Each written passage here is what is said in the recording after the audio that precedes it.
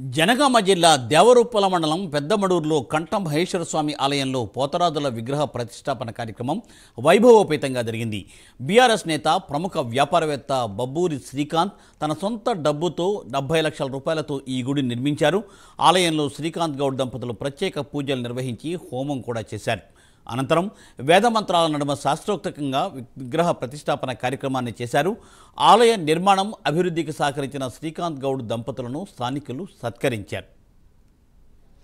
కంఠమేశ్వర స్వామి దేవాలయంలో పోతరాజుల విగ్రహ ప్రతిష్టాపనకి కొనుక్కున్నటువంటి మా బబ్బూర్ శ్రీకాంత్ గౌడ్ తమ్ముడు ఈరోజు ఇంత పెద్ద కార్యక్రమాన్ని చేసి చేయడం వల్ల మా అందరినీ కూడా దాదాపు జనగామ జిల్లాలో ఉన్న గౌడబంధువులు అందరినీ కూడా ఇక్కడ కలుసుకోవడానికి అందరిని పిలిపించి కలుసుకోవడానికి కల్పించినటువంటి తమ్ముడికి ప్రత్యేకంగా కృతజ్ఞతలు అభినందనలు తెలియజేసుకుంటూ ఈరోజు పెద్దమడూరు గ్రామంలో దాదాపు ఈ గుడికి నాకు తెలిసి కూడా ఈ మూడు గుళ్ళే ఉండే.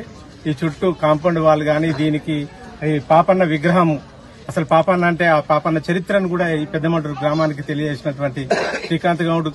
దాదాపు యాభై నుండి డెబ్బై లక్షల వరకు ఇక్కడ ఈ గౌడ జాతి అభ్యున్నతి కోసం గౌడుల అభ్యున్నతి కోసం గౌడుగా ఒక కుటుంబంలో పేద కుటుంబంలో పుట్టి ఒక స్థాయిలో ఉండి ఏమైనా మనం చేయొచ్చు.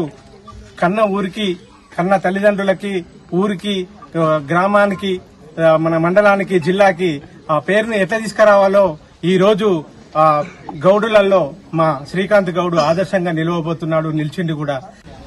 కంఠమే